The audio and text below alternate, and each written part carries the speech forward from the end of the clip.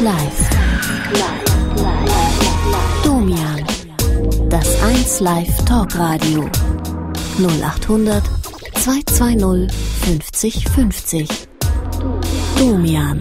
Im WDR Fernsehen und bei 1 Live. 0800 220 50 50. Jo Leute, schön, dass ihr auch da seid. Wir sind nämlich auch da. Willkommen bei Domian. Willkommen beim 1 Live Talk Radio. Freie Themennacht, offene Talkshow. Heute wie immer Mittwochs. Also wenn ihr gerne mit mir reden, plaudern, streiten wollt, dann meldet euch unter den äh, der bekannten Telefonnummer oder mailt unter domian.wdr.de. Erste Anruferin heute Nacht ist die Marion und Marion ist 36 Jahre alt. Guten Morgen. Guten Morgen, Domian. Ja. Um was geht's bei dir, Marion? Ähm, ich habe Angst zu fallen. Du hast Angst zu fallen? Ja. Ich habe mir des Öfteren, wenn ich hingefallen bin, diverse Knochen gebrochen oder einen Bänderriss zugezogen. Und das ist mittlerweile so extrem, dass ich echt Angst habe, ähm, im Bus hinzufallen oder bei Menschenmengen, dass mich jemand anrempelt. Wie oft äh, hattest du schon solche Stürze mit, mit üblen Folgen? Boah, ähm, boah, sechs, sieben Mal jetzt. Sechs, sieben Mal schon? Der letzte war im August. Da bin ich mit einem Mofa, ich habe eine Probefahrt mit dem Mofa gemacht, bin hingefallen. Einfach so, ich habe einfach die Kontrolle verloren und habe mir das Bein gebrochen und indem ich immer auch noch auch immer noch rumdoktor. Immer noch nicht richtig laufen kann und seitdem ist es also sehr extrem. Also es sind immer wirklich äh, Unglücke und Zufälle. Ja. Es hat nichts damit zu tun, dass du besonders irgendwie anfällige Knochen hast Nee. oder irgendeine Krankheit hast oder so, gar nichts. Ungeschicktes Fleisch. Oh. Ungeschicktes Fleisch. Ja. Sechs bis sieben Mal schon. Ja. Äh, wie oft deshalb schon im Krankenhaus gelegen? Ähm, ja, Bänderriss wurde operiert, Mhm. das Handgelenk wurde operiert. Ja, und jetzt das Bein. Und mit dem Bein muss ich nochmal, weil da ist eine Platte drin und Schrauben. Ja. Ich habe gerade so einen Begriff im, im Kopf, aber ich glaube, der ist überhaupt nicht angebracht. Es gab da früher so im Mittelalter den, den, das Krankheitsbild der Fallsucht, ne? War natürlich was ganz anders. Das passt auch. ich hoffentlich nicht. Ja, Mensch, was ist denn da los bei dir? Warum, warum bist du so ein bisschen schusselig auch? Kann man das sagen? Äh, Weiß ich nicht. Also ich habe, äh, ich nenne das mal Knickfüße. Ja. Also ich habe sehr äh, weit, äh, weite De äh, Sehnen oder Bänder im Knöchel. Mhm. Ich knicke dadurch relativ oft um. ja. Und äh, Ist ich natürlich eine Erklärung, falsch. ne? Bitte? Äh, Das wäre natürlich schon ein, eine physiologische Erklärung, dass Ja, du ja. und du fällst falsch. Ich falle falsch. Ich stütze mich grundsätzlich ab und breche mir dabei irgendwas. Wie wäre es denn mit einem gezielten Training? Ja, aber ich weiß nicht, wo ich sowas kriegen kann. Hm, Da müsste man mal mit einem, einem, einem Sporttherapeuten vielleicht reden, Ja. der äh, einmal sich konzentriert auf, auf deine Fuß, Fußstellung Mhm. und der eben auch, man kann ja Fallen wirklich lernen, das kann man ja in der Tat. Ja, das habe ich auch schon mal überlegt. Das wäre, glaube ich, auch im Moment wirklich angebracht. Ja, weil ich also wenn man, wenn man so gebeutelt ist wie du, Ja. würde ich das machen. Äh, wir, wir, wir versuchen dir mal zu helfen. Ich bin auch nicht ganz sicher, ob wir da äh, dir weiterhelfen können, aber vielleicht haben wir irgendwelche Anlaufstellen, worüber du da irgendwie eine Information bekommen könntest, was du da genau machen Vielleicht solltest. ist ja auch einer der vielen Zuhörer, Zuseher, Vielleicht. kennt sich da ja auch aus. Ja. Also es ist, es ist schon schlimm, vor allem jetzt gerade Karneval. Ah. Du bist eine Karnevalistin und gehst raus ja, eigentlich schon. und hast jetzt Angst zu fallen. Nee, ich habe Angst, angerempelt zu werden und dadurch zu fallen. Hat das denn, du hast gerade gesagt, ich habe Angst zu fallen, überhaupt generell, hat das zur Folge, dass du wirklich weniger rausgehst und dich mehr zurückziehst? Äh, Im Moment dadurch bedingt, dass das Bein auch noch nicht richtig verheilt ist. Ich meine, das war letztes Jahr im August. Ah ja, ja. Dann, Das ist also schon, äh, so langsam wird es Zeit, dass ich wieder rauskomme. ja. Äh, Aber es, wenn ich irgendwo hinkomme, wo es ähm, ungesichert runtergeht, das muss nicht weit sein, da reichen, weiß ich nicht, ein halber Meter. mhm. Da, da kriege ich fast Panik. Bist Was aber an sich kein ängstlicher Mensch. Nö, eigentlich Das- nicht. die Ich habe auch keine Ängstlichkeit- Höhenangst oder so. Ja, die Ängstlichkeit entsteht jetzt aus, aus den gemachten Erfahrungen, aus Ja. den, ja, ich glaube, dass man das mit Training hinkriegt. Ich glaube, das ist die einzige Möglichkeit. Und auch mit Ja. konfrontativ, dass du eben dich nicht immer mehr zurückziehst, sondern nicht genau auch dann solchen Situationen aussetzt, äh, aber vorher gut trainiert, wie man damit umgeht. Ja, ja, klar. Aber das ist äh, alleine so der Gedanke, ich müsste mich Mhm, da jetzt fallen lassen. Also das ist, äh, das ist ein Horror. Ja.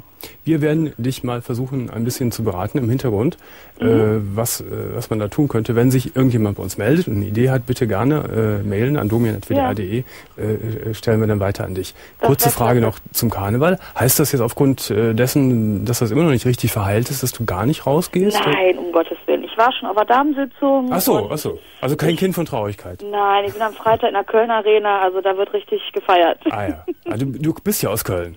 Äh, nee, ich wohne zwischen Köln und Düsseldorf. Ah ja, das ist ja nur die beste Gegend. Genau.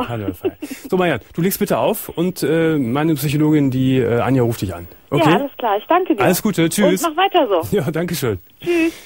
Ja, ihr Lieben, das Stichwort ist ja gerade gefallen. Wir haben ja äh, morgen, eigentlich ja schon heute, Weiberfastnacht. Ähm, eigentlich haben wir ja donnerstags immer ein festes Thema. Das mischen wir morgen mal ein bisschen auf. Wir halten äh, die Sendung offen für alle Themen, würde aber gerne mit euch so äh, schwerpunktmäßig vielleicht über Karneval reden und über krasse Karnevalserlebnisse, die ihr vielleicht gestern, also im Laufe des Tages, morgen im Laufe des Tages äh, haben werdet oder aus der Vergangenheit. Da erlebt man ja schon so einiges ähm, Heftiges, äh, vielleicht auch weniger Schönes. Äh, das ist morgen so unser roter Faden durch die Sendung, krasse Karnevalsgeschichten. Äh, morgen am Weiberfastnacht. Weiter geht es mit Helga und Helga ist 32, nee, 62 Jahre alt. Hallo Helga. Jetzt hätte ich dich sehr viel jünger gemacht. ja, hallo. Gru grüße dich. Domian. Ja, hallo Helga. Ich freue mich endlich mal in deiner Sendung bei sein zu können. Ja, ich freue mich, dass du da bist. ja, aber äh, meine Angelegenheit nun hat, weiß Gott, nichts mit Karneval zu tun. Ja. Sondern äh, jetzt mal äh, mit echter Liebe. Mit echter Liebe? Ja. Da kann man im Karneval nicht drüber sprechen, über echte Liebe. Äh, weiß ich so nicht. Eher nicht. Äh, es hat natürlich mit Karneval nichts zu tun. Was, was, was heißt das, echte Liebe? Was, was hast du erlebt oder was erlebst ja, du? Ja, pass auf, ich äh, habe Folgendes erlebt. Mhm. Äh, 97 mhm. ist mein Ehemann gestorben, nachdem ich 25 Jahre verheiratet war. Ja. Und zugleich sind sieben Leute auch aus der Familie gestorben. Das war für mich ein ganz, ganz schwerer mhm. Schlag. Sieben Leute aus der Verwandtschaft? Ja. Mhm. Das ging immer äh, in Abständen alles so von drei Tagen. Ach du lieber Gott. Ich konnte zum Schluss schon gar kein Telefon mehr hören. Ich hätte es also bei Gott immer an die Wand schmeißen können. Was waren das für Leute aus der Verwandtschaft? Sehr nahe Verwandte auch? Ja, ja, alles nahe Verwandte. Zum Beispiel?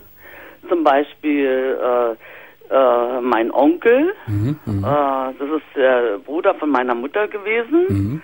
Der ist gestorben und als meine Mutter die Nachricht äh, bekommen hat, ist sie kurz danach auch gestorben. Ach. Drei Tage später.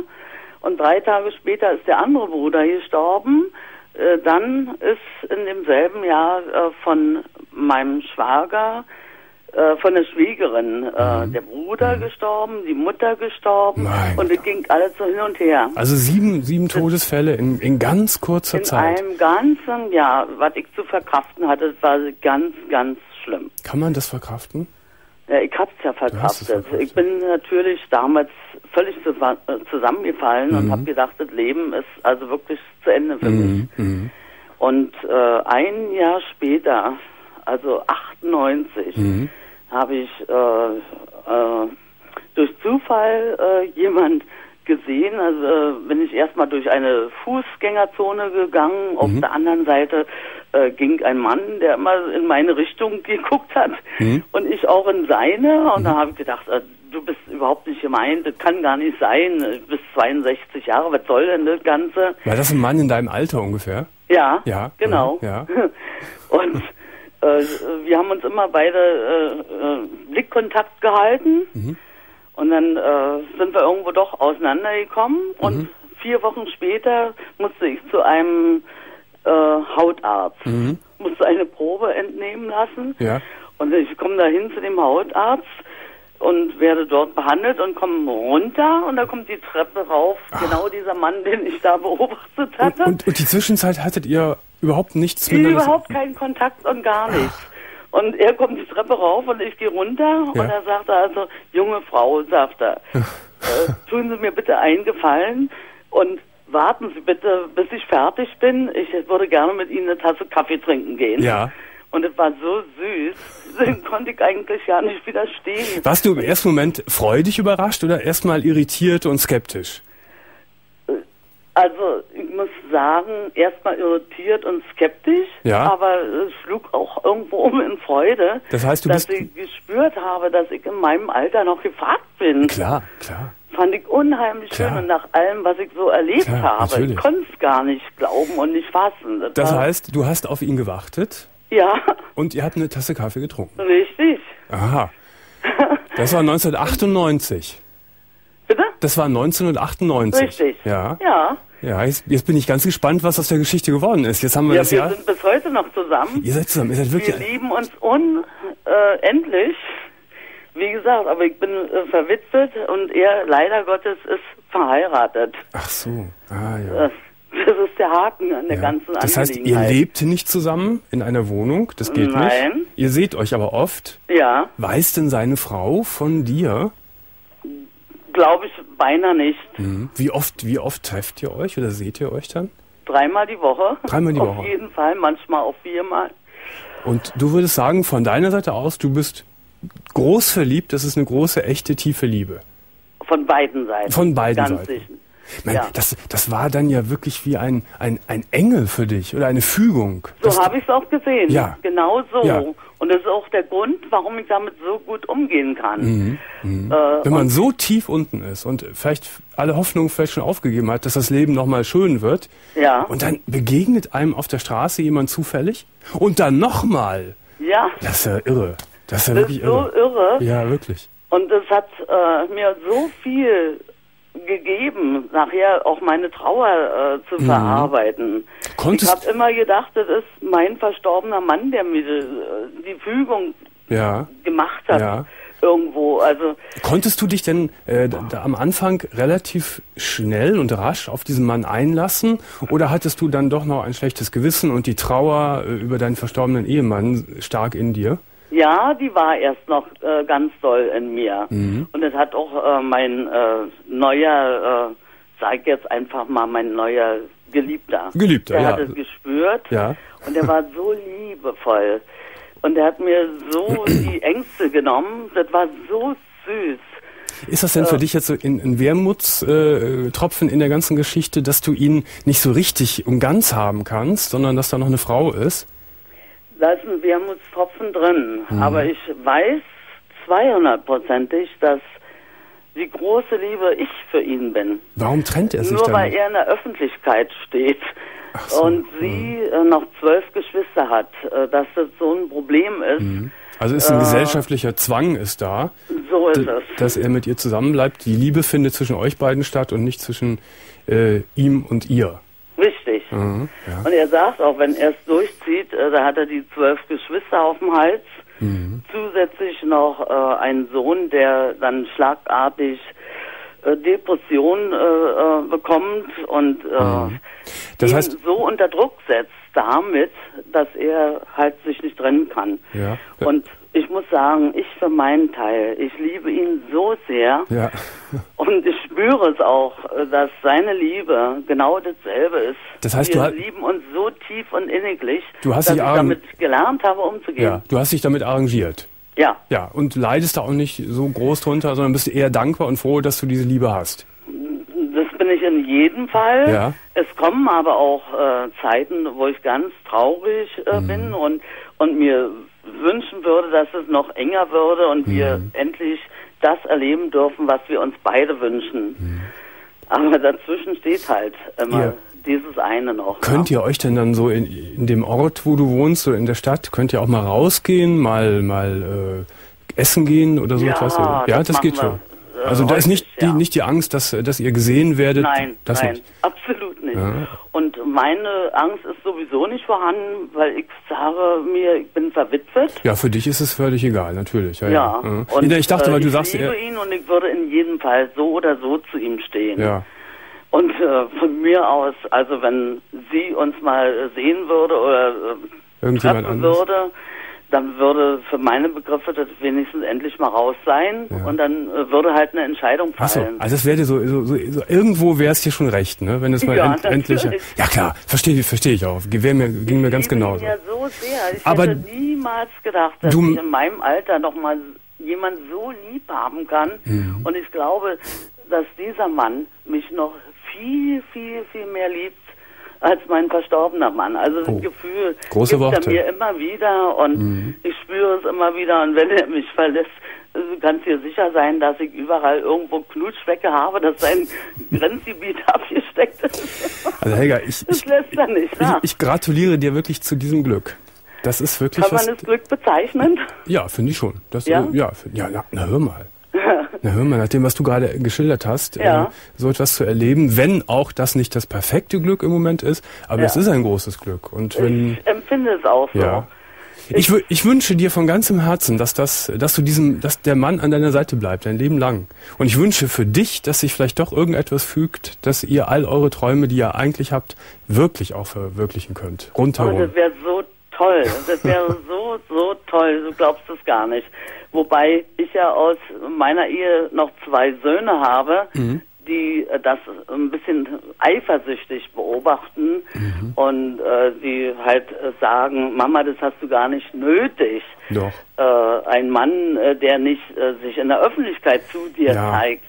Natürlich, das ist natürlich versuchen die. sie dagegen zu arbeiten. Aber ich muss dazu sagen, die helfen mir nicht, meine Nächte alleine zu verbringen. Ich stehe einfach zu meinem Geliebten und ich fühle es, dass er für mich voll da ist. Und das stärkt mich immer wieder. Alles, alles Liebe, alles Gute, Helga, wünsche ich dir. Und ich wünsche dir, Domian, dass und das sich. Ich muss dir sagen, deine Sendung ist so, so super.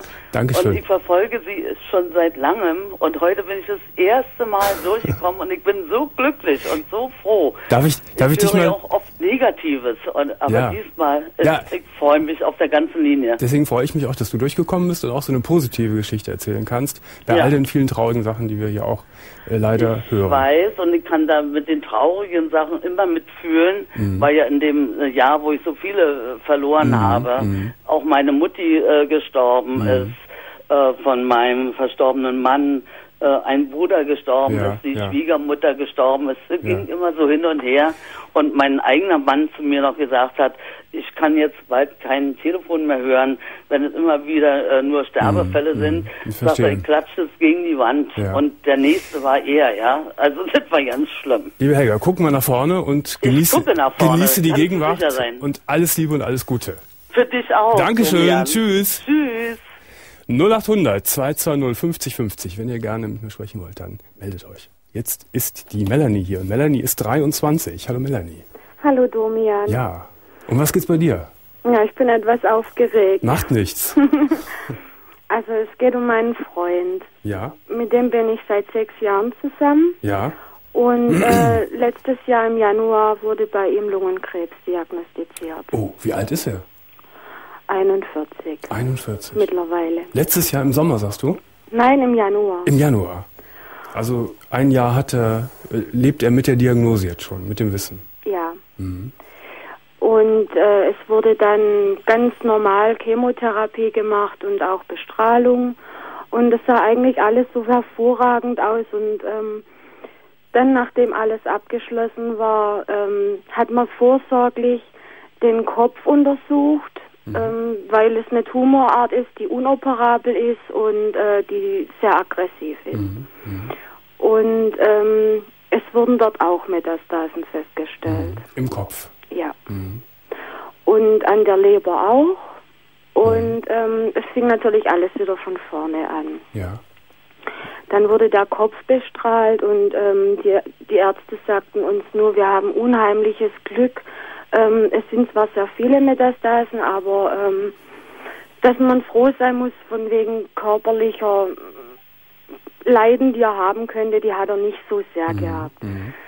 So, und ähm, bei der Bestrahlung habe ich dann endlich, da ich ja nicht mit ihm verheiratet bin, einen Arzt gefunden, der auch mit mir gesprochen hat. Und ähm, ich habe ihn wirklich dann mal ganz hart gefragt, äh, wie das eigentlich aussieht, ob wie seine Lebensqualität denn weiter zu Die Prognose auch. genau. Ja. Mhm. Und ähm, der Arzt sagte mir ganz klipp und klar, das war dann am 9.12. letztes Jahr, ähm, er macht mir keine Hoffnungen mehr. Es wird, egal, wenn eines sich wieder regeneriert hat, dann kommt das nächste. Was heißt, er macht dir keine Hoffnung mehr?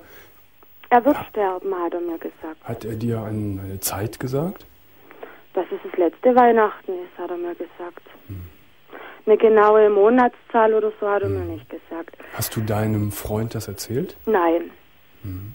Denn er ist ein Mensch, der sehr in seinem Leben hängt hm. und ähm, auch sehr lebensbegeisternd irgendwo. Und dein Freund hat äh, den Arzt nicht so genau befragt. Wie steht es um mich? Sagen Sie mir die Wahrheit. Das hat nein, er so nicht gesagt. Nein, nein. Mhm. Und die Ärzte haben ihm auch nie irgendwie gesagt, dass, äh, dass es so irgendwie sein könnte. Das heißt, du lebst jetzt mit diesem Wissen, dass ja. äh, dein Freund so schwer erkrankt ist, dass er in genau. absehbarer Zeit sterben wird. Ja. Wer weiß das noch? Ähm, eigentlich niemand mehr. Das heißt, du trägst dieses Wissen auf deinen Schultern. Ja. Mhm. Wie und geht es dir dabei und damit? ich, ich, kann, ich kann das eigentlich gar nicht richtig in Worte fassen. Ich weiß, ähm, dass mein Leben trotzdem noch weitergehen muss, aber ähm, irgendwo habe ich mein Leben nach seinem gestaltet. Ich bin so lange mit ihm zusammen und er ist auch ein bisschen älter wie ich. Mhm. mhm. Und ähm, ich möchte ihn nicht verlieren. Er ist die Liebe meines Lebens und mhm irgendwo wird das jetzt alles nicht mehr geachtet. Wie, das wird nicht geachtet? Er ähm, ist jetzt über die, nachdem das dann mit dem Kopf noch rausgekommen ist, ähm, ist er mir gegenüber sehr jähzornig und bösartig und äh, so. zum Teil, er war, er war früher nie so zu mir und das ich kann es mir auch bis heute nicht erklären, warum das auf einmal so ist. Äh, wird er im Moment auch bestrahlt? Oder sind die Bestrahlungen abgeschlossen? Die Bestrahlungen sind am Kopf abgeschlossen. Mhm. Jetzt hat er eben wegen der ähm, wegen der Leber bekommt er jetzt auch nochmal Chemotherapie. Mhm. Das heißt, er ist, ist, in diesem ständigen, in dieser ganzen Mühle drin, in dieser genau. Medizinmühle. Und eure Beziehung hat sich seit seit jetzt seit einem halben Jahr, vielleicht kann man sagen ungefähr, ja. äh, verschlechtert, sehr verschlechtert. Ja. Äh, was komplett absurd ist, du weißt, äh, dass, dass er ein Todesurteil hat. Er weiß es nicht du hängst an ihm, du möchtest die Zeit, die ihr noch habt, schön gestalten und er, er ist unfreundlich zu dir. Unfreundlich, das ist noch nett formuliert. Ja. Es sind zum Teil Ausdrücke, ich weiß nicht, warum er das macht. Mhm. Ähm, ist das Gehirn äh, durch, durch diese, durch diese äh, Bestrahlung in irgendeiner Weise in Mitleidenschaft gezogen worden? Kann das sein? Ähm, wie gesagt, wir haben sehr viel Glück gehabt. Also er hatte mit den Beinen gelegentlich beim Laufen Probleme. Nein, ich meine, dass, dass es vielleicht eine Folge ist von der Bestrahlung oder Nein. ist es auch eine Folge vielleicht, dass er äh, mürbe ist, dass er auch mit, mit der Krankheit einfach nicht mehr zurechtkommt und daher die Stimmung, starken Stimmungsschwankungen hat? was, was, was durch die Erkrankung kommt, ist, dass er sehr viel vergisst. Aber das ist mehr so aus dem mhm. Neuzeit, äh, aus dem neueren Gedächtnis. Also das Langzeitgedächtnis ist einwandfrei bei ihm. Wie gehst du denn mit diesen Situationen um? Ich stelle mir das enorm schwer vor. Du weißt, was mit ihm los ist. Er ist gelinde gesagt unfreundlich zu dir. Äh, bist du dann, denkst du, na okay, komm, lass es an dir, ich lasse es an mir abprallen. Äh, gehst Anfangs, du da? Ja. Anfangs ja. Und was machst du jetzt? Und irgendwann, wo es dann jetzt anfing, und das ist jetzt die letzten zwei Wochen so gewesen, ähm, dass es mehr wie nur unter die Gürtellinie ging, mhm. wie er mich beleidigt hat. Mhm. Ähm, wie soll ich sagen, da habe ich mich dann gewehrt. Dann, dann habe ich, dann hab ich ihm wirklich auch mal meine Meinung gesagt und, ja. und habe zu ihm gesagt, also wenn du wirklich, ich sage es mal knallhart, in deiner eigenen Kotze liegst, du weißt genau, ich bin immer da, ich bin, ich bin, ich stehe mhm. vor dir, mhm. ich, ich ich will nicht, dass irgendjemand dir was Böses tun kann. Mhm. mhm. Ich stehe immer für dich ein. Ich war bei jedem Beein Arzt. Beeindruckt ihn das dann oder äh, schaukelt sich das dann nur noch weiter hoch? Er sagt es einfach, um mir weh zu tun, denke mhm. ich mal. Jede andere würde das auch tun. Ach so, oh. Ja. äh, ist, liegt es dir dann manchmal irgendwie auf der Zunge, ihm die Wahrheit über seinen Zustand zu sagen? Ähm, moment, momentan ist es ja so, also heute hat er seine Sachen gepackt mhm. und hat gesagt, äh, wir wohnen ja zusammen, äh, er verlässt mich mhm. Und er will mit mir nichts mehr zu tun haben. Er empfindet für mich nur Hass und noch nicht mal das mehr richtig. Und, äh, und er lässt mich, er lässt mich hier mit dieser Wohnung und wo er weiß, dass ich finanziell auch nicht so gut gerüstet bin, er lässt mich einfach allein. Ist er gegangen? Ja. Er ist weg jetzt. Wo, wo, ist, wo ist er hin? Hm, Ich weiß es nicht. Ach, du sitzt jetzt alleine in der Wohnung, in eurer Ja. Wohnung. Und Ja. ähm, du, du, du wirkst noch so, so, so, ja, so gefasst irgendwie. Die- muss ich. ja, eben, wurde ein ganzes Jahr von mir verlangt, Domian. Ich habe aber eigentlich jetzt unter uns beiden müsste dir doch eigentlich jetzt richtig alles hochkommen. Ne? Da, da sind doch Gefühlswallungen ungeheurer, ungeheuren Ausmaßes wahrscheinlich in dir unterdrückt worden bisher. Von, von schlimmer Trauer bis auch zur Aggression und, und, und alles. ja. Wer, wer stützt dich denn ein bisschen? Hm, Es kann mir niemand helfen. Du hast ich, bin, keinen. ich bin ganz allein äh, irgendwo mit dieser Situation. Es kann Äh. niemand nachvollziehen, wie, Hm. Ja, wie es ist schon- mit so einem kranken Menschen. ja, aber du hast auch keine beste Freundin oder sowas. Nein. Du stehst ganz alleine da und musst die Kraft aus Und mittlerweile rauspumpen. aus meiner Familie zum Beispiel ähm, werde ich nur gefragt, warum erträgst du das? Mhm. Warum? Warum erträgst du das? Ja, wa warum ich mir das alles so von ihm gefallen lasse? Ja, das frage ich dich auch gerade. Warum? Weil ich ihn liebe. Hm, Nach wie vor, obwohl er dir so wehgetan hast. Ver vergibst du ihm, weil du denkst, er ist so schwer krank? Ja. Mhm. Eigentlich hört sich das dumm und krank von mir an. Nee, finde ich nicht. Ich habe davor Respekt. Ich habe davor Respekt. Äh, man soll gar nicht urteilen. Wer weiß, was so eine schwere Krankheit in, in, in, in jedem von uns auslösen würde. Vielleicht würden wir auch ganz seltsam draufkommen und hätten auch nicht mehr uns im Griff. Und ich finde es großartig von dir, dass du es schaffst und dass du, dass du das vergibst. Aber dennoch musst du auch an dich denken und äh, du kannst auch nicht endlos deine Energie äh, geben, geben, geben. Irgendwann fällst du zusammen. Es, es fiel mir unheimlich schwer, wenn ich, wenn ich das so miterlebt habe, in seiner Familie, wie er, wie er die alle liebevoll behandelt, wie da Umarmungen sind, wie, Mhm. Ja, einfach, ich habe schon seit Monaten nicht einmal eine flüchtige Umarmung mehr von ihm bekommen. Melanie, ich fände gut, wenn du gerade jetzt für diese schlimme Zeit, die ja, du hältst es für möglich, dass er wieder zurückkommt. Das war nur so ein Nein. Nein. Ähm, das ist auch der Grund, warum ich dich angerufen habe, weil es ist für mich irgendwo sehr wichtig und da brauche ich jemand, der mir jetzt mal irgendwo einen Rat gibt. Ähm, wenn er hier auszieht und äh, das meiste hier in der Wohnung, das gehört nun mal ihm. Mhm.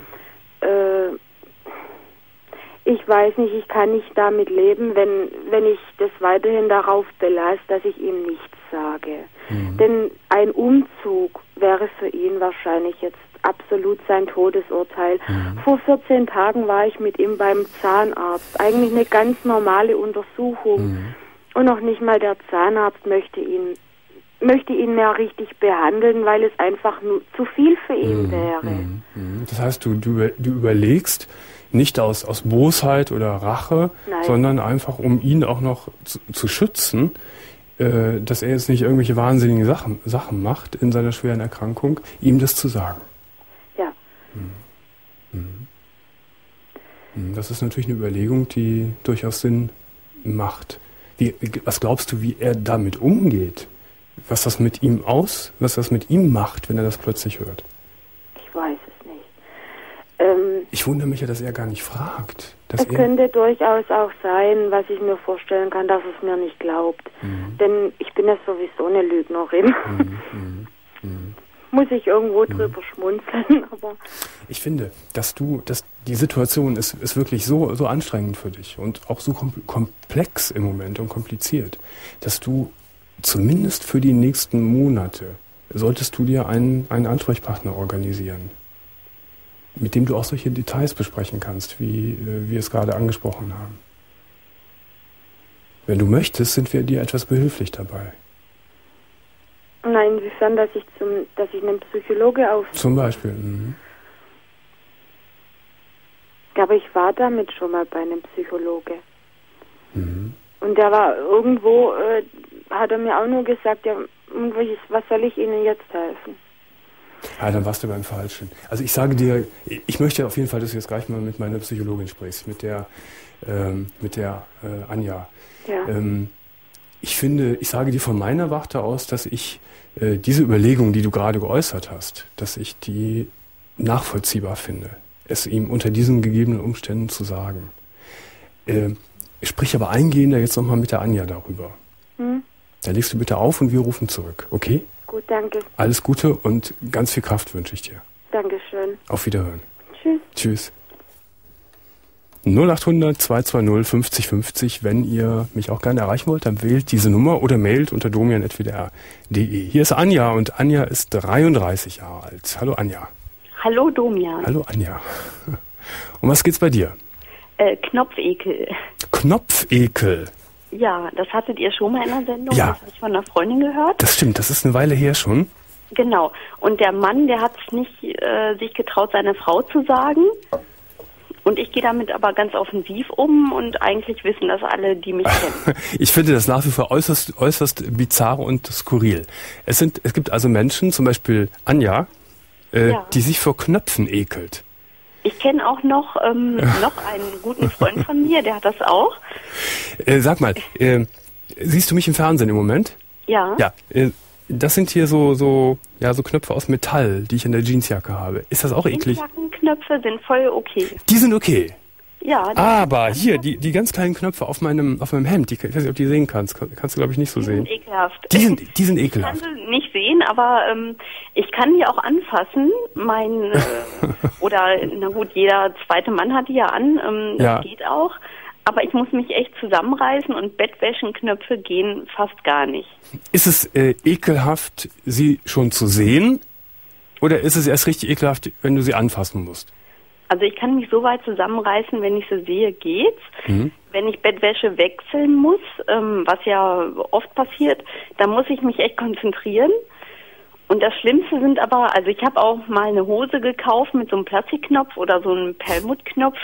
ähm, wenn die halb runterhängen, ist das total eklig. Ähm, es bezieht sich also ausschließlich auf, auf so Plastikknöpfe, Perlmuttknöpfe. Äh, Metall ist okay? Oder auch, auch, Metall ist okay. auch, auch, wenn, auch wenn die eine klassische Knopfform haben und aus Metall sind, geht es. Ähm, ich kenne jetzt außer Jeansknöpfen nichts anderes, was eine klassische Knopfform Ja. hätte in Metall. Ah ja. Und ähm, Was, was ist das Ekelhafte? Warum ekelst du dich? Kannst du es erklären? nee, Was ich weiß nicht warum. Ähm, ich habe keine Ahnung. Ich habe das Gefühl, die sind schmierig und stinken. Aber sie, sie stinken nicht. Du hast sicher auch schon mal dran gerochen, oder? Ja, dann auch. Aber ähm, es ist halt, ja, es fällt mir schwer, die anzufassen. Mhm. Äh, immer schon gewesen so? Als Kind? Seit frühester Kindheit. Seit frühester ja. Kindheit. Also es gibt kein, kein, kein schlimmes Knopferlebnis, von dem man sagen kann, seitdem mag ich keine Knöpfe mehr. Das nicht. Ich weiß es ja nicht. Also vielleicht ähm, müsste ich mal jemanden ähm, aufsuchen, der mir das erklärt oder Hypnose, keine Ahnung. Habe ich auch schon mal überlegt. Ja. Äh, bist du bist du Hausfrau? Also ähm, alleinstehend ohne Kinder. Allein schon, okay. Ich, woll- ich wollte sagen, wenn du jetzt Kinder hättest äh, und einen großen Haushalt führen müsstest, wäre das wahrscheinlich sehr kompliziert. Immer muss irgendwo mal ein Knopf angenäht werden. Ja, eben, Oder das sowas. könnte ich nicht. Das könntest du gar nicht. Nee. Ja. Also ich muss auch, ähm, wenn so ein Knopf halb abhängt von einer Hose, der aus Plastik ist, habe Ja. ich die schon weggeschmissen, egal wie teuer. Ja, Oder ich muss halt Leute fragen, die mich kennen ja. und die es wissen, ob die den wieder richtig annähen können. Dann geht das. Aber Also du könntest nie im, im, im Liebesrausch einem, einem Mann die Hose aufknöpfen. Das ging niemals. doch, das habe ich auch schon gemacht. Das hast du schon gemacht. Aha, da hört es dann also auf mit dem Ekel. Genau. Darum wollte ich ja auch, also weil dieser Mann, der wohl vor ein paar Wochen angerufen hat, der hatte da auch ähm, Komplikationen mit seiner Frau, wenn die was mit Knöpfen anhatte. Ähm, darum wollte ich ihm sagen, er soll damit offensiv umgehen. So wie du. Du sagst es allen Leuten und sagst es auch potenziellen Liebhabern. Also ich habe Genau. eine Knopfphobie, aber so, wenn es sein muss, knöpfe ich die Hose schon auf. Ja, aber dann, also als ich es gesagt habe, haben sie es auch selber gemacht. Wie reagieren die Leute darauf? Die meisten äh, werden doch wahrscheinlich sagen, wie bitte, was ist das, was ist das für ein Quatsch, oder? ja, viele lachen sich kaputt. Ja. Und dann lache ich auch mit. Ähm, aber ich habe so auch äh, schon ähm, ja einen Freund getroffen, der dann gesagt hat, ich habe das auch. Mhm, mhm, mhm. Und er weiß auch nicht warum. Und ähm, ja, eine Freundin, die auch sogar zwei Geschwister kennt, die das haben. Und dann habe ich auch mal im Fernsehen äh, Auch davon gehört. Glücksspirale oder wo man so eklige Sachen machen muss, die man nicht machen möchte. Mhm. Ähm, da war auch mal eine Frau, die musste aus einer riesen Knopfkiste Knöpfe raussuchen und die annähen Das und ist, hat ge- dafür Geld gekriegt. es ist vergleichbar mit einer, mit einer Spinnenphobie, ne? Das heißt also, wenn jemand eine Spinnenphobie hat und äh, derjenige die Hand äh, zum Beispiel in so ein Terrarium legen soll, wo viele, Genau. äh, wird der Mensch wahnsinnig. Wenn man, wenn man dich zum Beispiel in ein Knopfgeschäft Geschäft schicken würde. Das ist ganz schlimm. Das also Oder gar wirklich dich, äh, deine Hände, dass du in, in, in so einem Bassin voller Knöpfe deine Hände rein stülpen solltest, wäre für dich wahrscheinlich die Hölle, oder? Das wäre die Hölle. Also für viel Geld würde ich wahrscheinlich tun. Aber ähm, so freiwillig, ähm, ohne, ohne schmerzähnliche Zustände nicht. Die Farbe der Knöpfe ist auch völlig wurscht. Das ist völlig Wurst. Völlig wurscht, ja. ja. Äh, Das heißt, ich gehe mir davon aus, dass dein gesamter Haushalt, nee, nee, alles nicht. Du hast gerade von der Bettwäsche gesprochen. Du hast auch Bettwäsche, die geknöpft ist. Die ist auch geknöpft, aber ähm, Könntest du dir ja solche besorgen, die mit Reißverschluss, gibt's ja heute alles. ja, die ist teurer als die mit Knöpfen. Stimmt, stimmt, stimmt. Und, ähm, aber ich habe schon Geld darin investiert auch. Also damit der, der Haushalt knopfärmer wird. Genau. Ja. Hast du den Eindruck, dass dich das sehr in deinem Leben behindert? Oder ist es einfach so ein, so ein, so ein ja, mit, womit man so leben kann? Also ich kann damit leben, aber schwierig wird's, wenn man jetzt so einen ähm, Hosenanzug kaufen müsste für Bewerbungsgespräche Ja. oder so. Aber Ähm, äh, habt ihr Mädels, die Hosenanzüge, ist das, ist das so, so nicht immer mit Reißverschluss?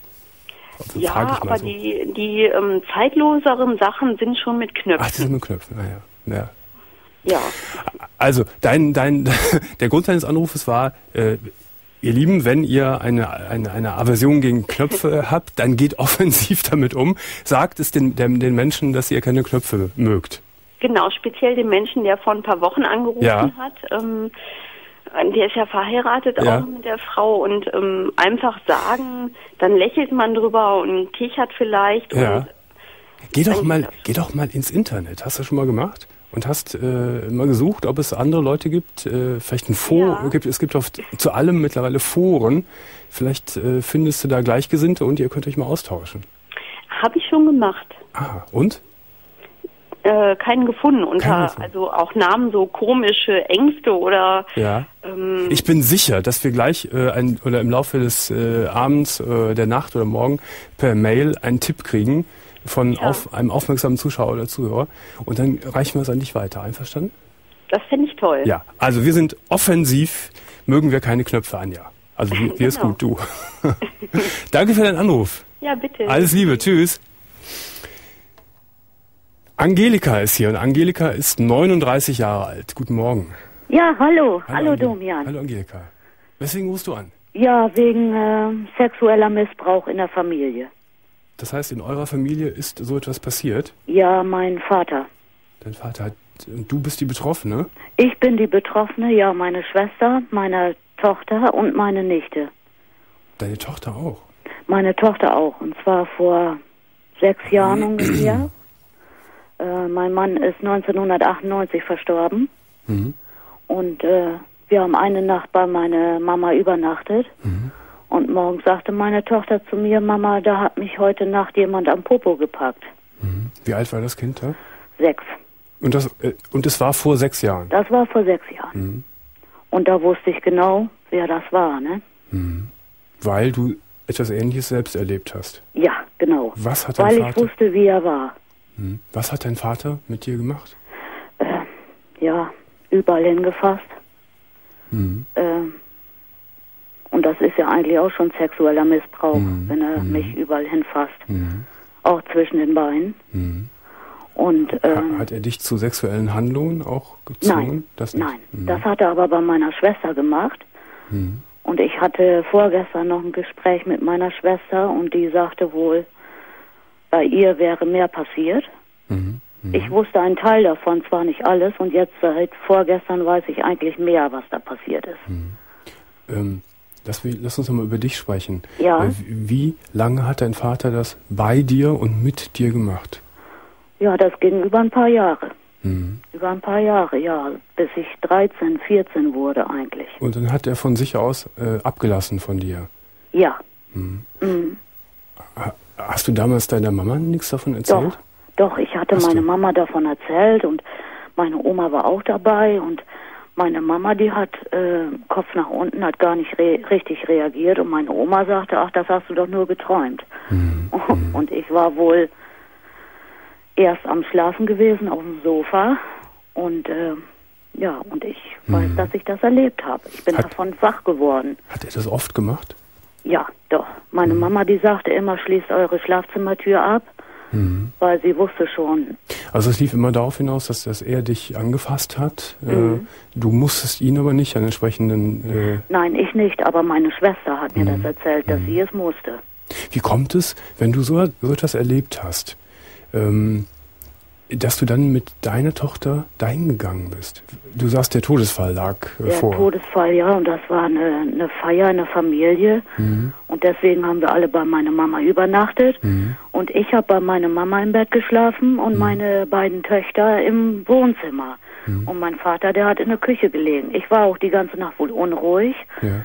Habe immer mal in die Tür geguckt, ja. aber irgendwann dann schläft man ja mal ein und mhm ähm, dann muss er nachts wohl bei ihr gewesen mhm. sein. Und deine Schwester hat dir jetzt, jetzt erst erzählt, dass äh, da mehr vorgefallen ist? Das ja, heißt, das weiß ich schon länger von meiner Schwester, aber jetzt sind auch, hat sie mir vorgestern auch Sachen erzählt, was ich noch nicht wusste. Heißt das, dass dein Vater mit deiner Schwester geschlafen hat? Ja, ja, mhm. ja. Lebt der Vater noch? Ja, der lebt noch. Wie ist denn dein Kontakt zu dem Elternhaus heute und zu dem Vater? Ja, wir wohnen 80 Schritte auseinander. Mhm. Ja, meine Mama ist öfters hier, passt auf die Kinder auf. Und äh, ja, so wie heute Abend, mein Vater war wieder hier, weil meine Mama auf die Kleinen aufgepasst hat. Mhm. Ja, dann liegt er hier wohl auf dem Sofa und dann kommt das Hass- und Ekelgefühl hoch. Das kann mir kein Mensch glauben. Mhm. Das heißt, es, es kommt doch dann immer wieder zu Begegnungen oder kam immer zu Begegnungen. Wieder. Ja, auch zwischen, zwischen deinem Kind und dem, dem Vater. Ja, Wenn meine so Kinder gehen Gott sei Dank nicht so oft rüber und mein Papa geht auch noch zwischendurch ein bisschen arbeiten, dann ist er nicht zu Hause.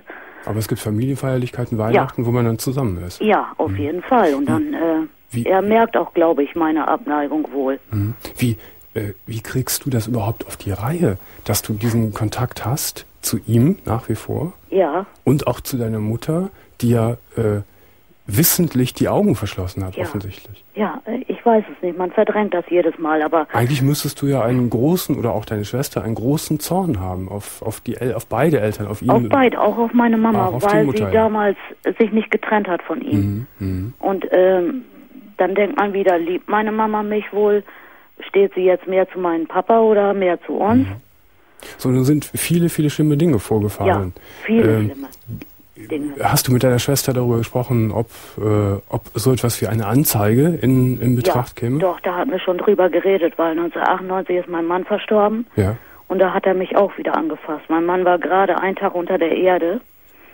Und ich nahm damals ja noch Beruhigungstabletten, damit man besser schlafen kann. Aber Angelika, dann kann ich jetzt, muss ich nochmal sagen, wenn das damals so auch, auch schon wieder nochmal passiert ist, ja. wo du eine erwachsene Frau warst, ja. Äh, wieso hast du denn nicht spätestens da den Kontakt radikal abgebrochen zu denen? Hätte ich machen müssen. Ja. Aber ich, ich mache das alles nur, weil ich meine Mama so liebe. Aber die, Mama, aber die Mama trägt ja Mitschuld an ja. dem Ganzen. Auf jeden Fall. Deswegen bin ich auch wohl böse. Aber mhm.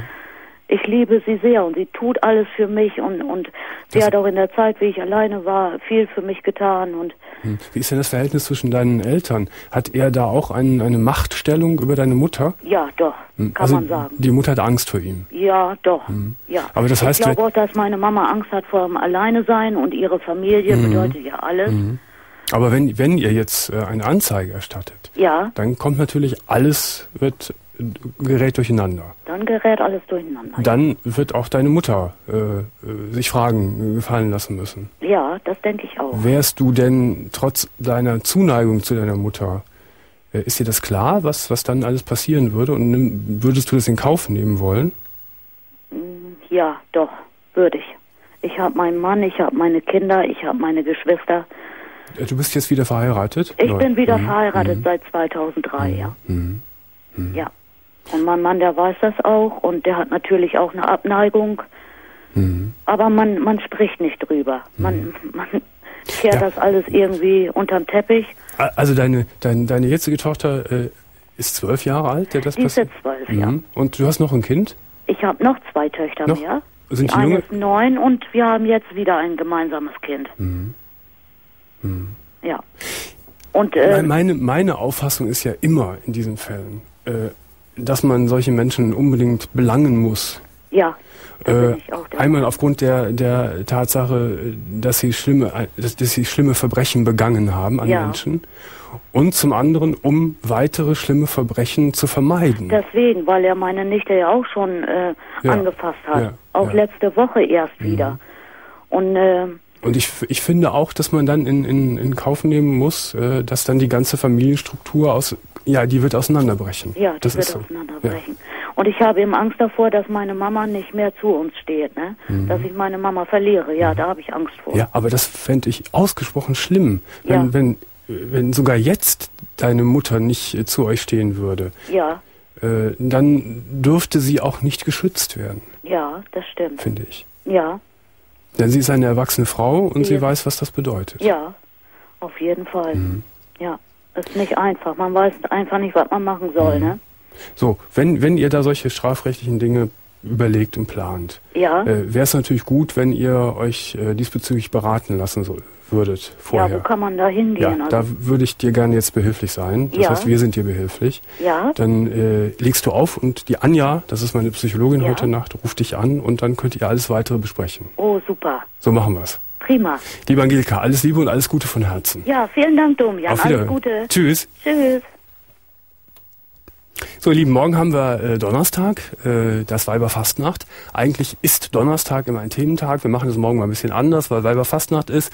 Es ist eine freie Sendung, aber ich möchte unter anderem dann auch gerne mit euch über krasse Karnevalserlebnisse äh, reden, äh, die ihr äh, dann am Weiberfastnacht erlebt haben werdet oder vielleicht auch aus äh, vergangenen Jahren äh, erzählen könnt. Krasse Karnevalserlebnisse, morgen so eingesprengselt in unsere freie äh, Themennacht äh, hier bei uns. Hier ist Karina und Karina ist 27 Jahre alt. Hallo Karina. Hallo Jürgen. Hallo. Was ist dein Thema? Oh, mein Thema ist, also ich bin seit acht Jahren mit meinem Mann zusammen, also drei Jahre verheiratet. Und äh, der Fetisch steht zwischen uns. Der Fetisch. Ja. Was für ein Fetisch? Also mein Mann ist devot Mhm. und er ja, möchte ganz gerne, wenn ich so sagen darf, dass ich ihn unter der Decke aufhänge und schlage. In Lack und Leder und allem drum. Also ich soll eine richtige Domina sein für ihn. Mhm. Habt ihr denn solche Vorrichtungen, dass du ihn unter die Decke hängen kannst? Das noch nicht, aber er hat ähm, so Fesseln von Segofix, ich weiß nicht, ob dir das was sagt. Nee.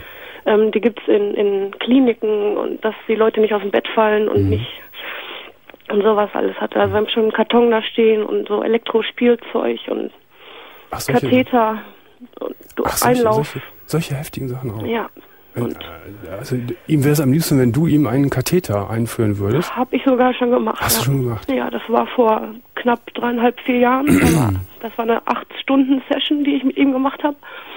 Und äh, wie gesagt, also das hat ganz ganz langsam angefangen damals, Also, als wir zusammengekommen sind. Ganz am Anfang, als ihr, äh, war da noch nicht viel von zu spüren. Nein, gar nicht. Also Mhm. es fing an, er hatte ähm, ein paar Strapsen und die wollte er ganz gern anziehen. Also er ist auch gerne Mädchen dazu, auch- das auch noch. Mhm. Und äh, das fand ich auch noch ganz witzig. Ich habe das alles mitgemacht, war eine schöne Abwechslung. Ihn auch war vielleicht mit äh, einem Schal ans Bett zu fesseln und so was alles und ihm die Augen zu verbinden Mhm. und so was. Und das hat sich ja langsam, hat sich das gesteigert. Und Mhm. ich habe ihm auch von Anfang an gesagt, dass das ganz witzig ist und dass ich das aber nicht so weit führe, dass ich ihn und verkehrt rum unter der Decke aufhänge. Mhm.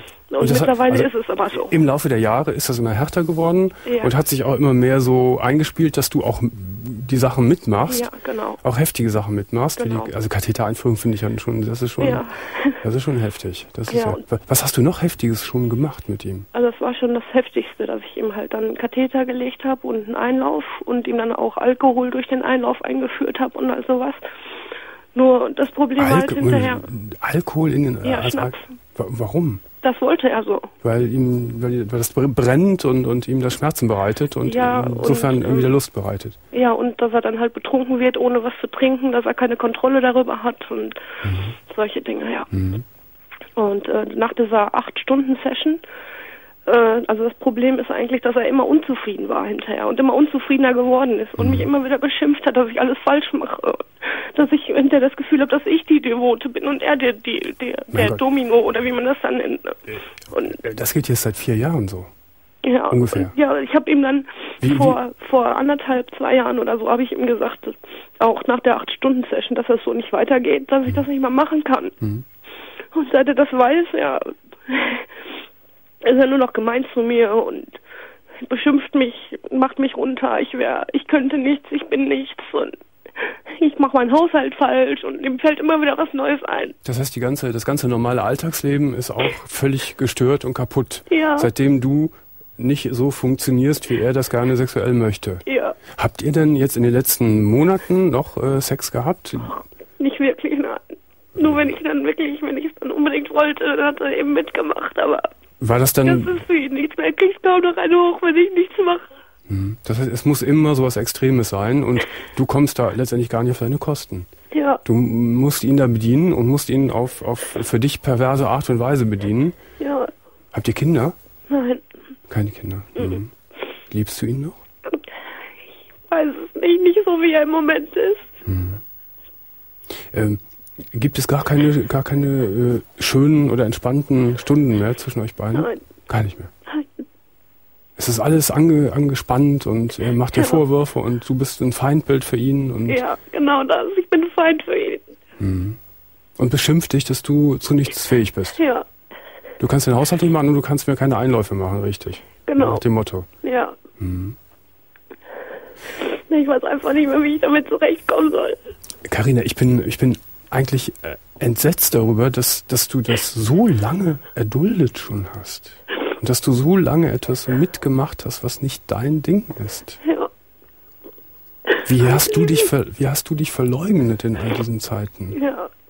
Selbst, ich, wie wie fasst man das Wort Selbstvergewaltigung ver- gebrauchen? In Anführungszeichen schon setzen. Ja. Da hast du recht, Omian. Äh, Jürgen.